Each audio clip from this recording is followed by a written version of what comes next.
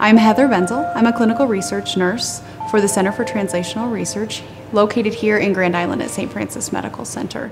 Currently, the biorepository project, we just have one protocol here at St. Francis, and we're collecting blood and tissue for oncology patients. So, patients diagnosed with a malignant tumor, cancer, within the last 12 months.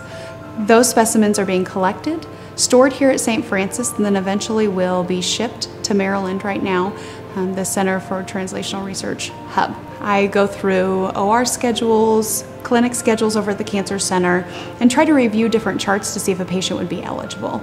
If the patient appears eligible, I'll then contact the physician. It's up to the physician to really determine if the patient is an appropriate candidate for the trial.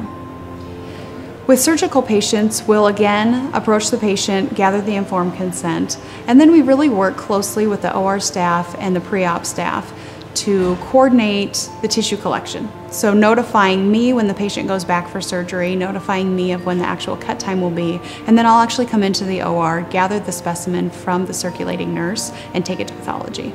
From that point, pathology has pretty close instructions per the protocol on how to dissect the tumor and get it into small enough pieces that we can then collect it, put it in cryo vials, and snap freeze it in liquid nitrogen.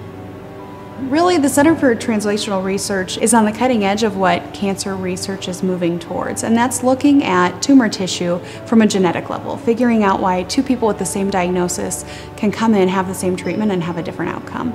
What we're really doing is looking how genes affect the growth and development of cancer tumors.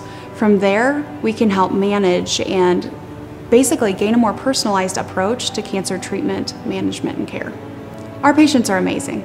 They're selfless, they're in one of the hardest times of their entire life, and every time I approach a patient, I almost always get the same response of, well, if I could help somebody in the future, why wouldn't I do it?